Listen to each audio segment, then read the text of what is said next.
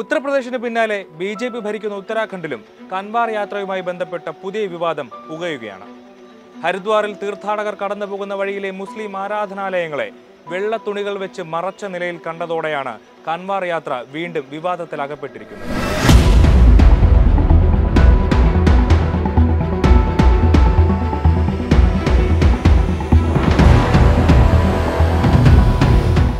യാത്ര കടന്നു പോകുന്ന റോഡരികിലെ ഹോട്ടലുകളുടെ ബോർഡുകളിൽ ഉടമകളുടെ പേര് പ്രദർശിപ്പിക്കണമെന്ന വിവാദ ഉത്തരവ് സുപ്രീം കോടതി സ്റ്റേ ചെയ്ത ദിവസം തന്നെയാണ് പള്ളികൾ മറയ്ക്കാനുള്ള തീരുമാനവും. ഇക്കഴിഞ്ഞ ഇരുപത്തിരണ്ടിനാണ് ഭരണകൂടത്തിന്റെ നിർദ്ദേശപ്രകാരം ഇസ്ലാം നഗറിലെ മുസ്ലിം പള്ളികളുടെ മുന്നിൽ വെള്ള തുണികൾ കൊണ്ടുള്ള മറ പ്രത്യക്ഷപ്പെടുന്നത്. പള്ളികളുടെ കവാടത്തിന് പുറത്ത് ആരാധനാലയം തീർത്ഥാടകർ കാണരുത് എന്ന ഉദ്ദേശത്തോടെയാണ് മറ നിർമ്മിച്ചിരിക്കുന്നത്. പള്ളികളുടെ മുന്നിലല്ലാതെ യാത്ര കടന്നുപോകുന്ന മറ്റൊരിടത്തും ഇത്തരത്തിൽ മറകളില്ലതാനും സംഭവം വിവാദമായപ്പോൾ ന്യായീകരണവുമായി ടൂറിസം മന്ത്രി സത്പാൽ മഹാരാജ് രംഗത്തെത്തി.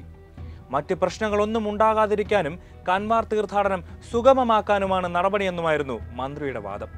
എന്നാൽ മുസ്ലിം ആരാധനാലയങ്ങൾ തീർത്ഥാടകർ കാണുന്നത് കൻവാർ യാത്രയ്ക്ക് എന്ത് ഭംഗമാണ് ഉണ്ടാക്കുക എന്നാണ് അവിടുത്തെ സാധാരണക്കാർ ചോദിക്കുന്നത്.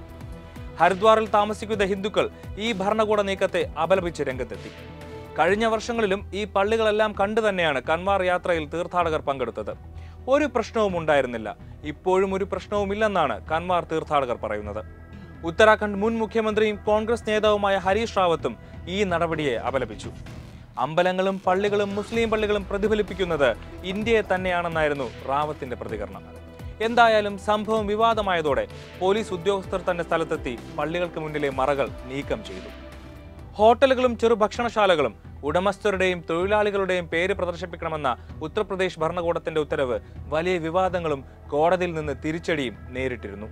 രാജ്യത്ത് എല്ലായിടത്തും നിയമം ഒന്നായിരിക്കണമെന്നും ഉടമസ്ഥരുടെ പേര് പ്രദർശിപ്പിക്കണമെന്ന ജൂലൈ ഇരുപത്തിരണ്ടിലെ ഇടക്കാല സ്റ്റേ ഉത്തരവ് ഒഴിവാക്കാനാകില്ലെന്നും കഴിഞ്ഞ ദിവസം സുപ്രീം കോടതി വ്യക്തമാക്കി.